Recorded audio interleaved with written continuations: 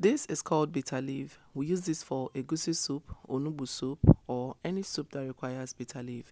I'm going to show you two ways to wash this. The first method is the one that we already know. The last method, I'll show you how to do that and still retain the strands. Okay, so keep watching. So I'm going to head to sun it for about an hour and a half, or you can leave this on your kitchen counter for a few days. You want it to wilt and not get very dry, otherwise it's going to shatter. Add that into your bowl, going with some salt, water, and start washing. Now, as you wash this, you don't want to wash this with your very strong hand. You want to do it gently. After a while, it will begin to foam. You're going to remove the bitter leaf, strain that water, and continue to wash. I like to wash until the water begins to turn whitish. That way, you know the bitterness is, you know, almost out. Now, depending on how you like your bitter leaf, some people like it really bitter. I don't like it really bitter.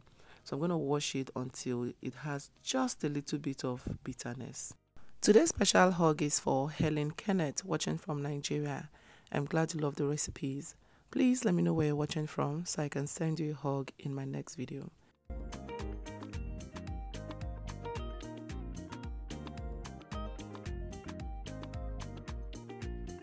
After about 6 to 8 times of washing, the foam started to turn white, which is an indication that the bitter leaf is getting clean. Like I said, depending on how bitter you want your bitter leaf, wash it, okay? So this is the last strain for me. I'm going to squeeze it out and the first method is ready. If you're making ofe onugbu, you want to retain the strands. But if you want to make egusi with this, just cut it up with knife and use it for your egusi. For the second method, again you're going to wilt the bitter leaf, sun dry it for about an hour and a half or let it sit on your kitchen counter for a few days. Now place that into a bowl, go in with some water and rinse very well to get rid of sand. Once this is done, transfer this into a pot of boiling water and then add the bitter leaf. When you add the bitter leaf, make sure it is properly submerged into the boiling water. Then you're going to boil this for a few minutes depending on how bitter or less bitter you want your bitter leaf to turn out.